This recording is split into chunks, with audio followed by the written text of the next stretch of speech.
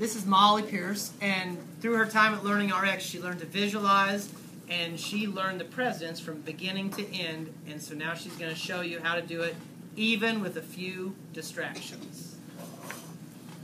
Today in social studies, we're learning the United States of America's presidents. Can anyone tell me all the presidents in order? Molly. Uh, no, you don't.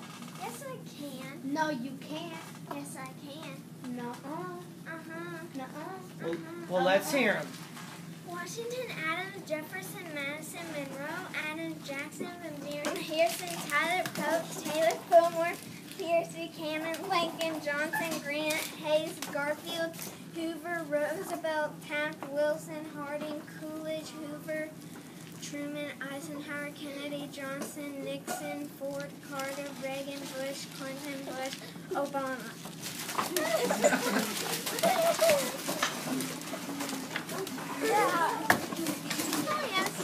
So, Molly, did you know?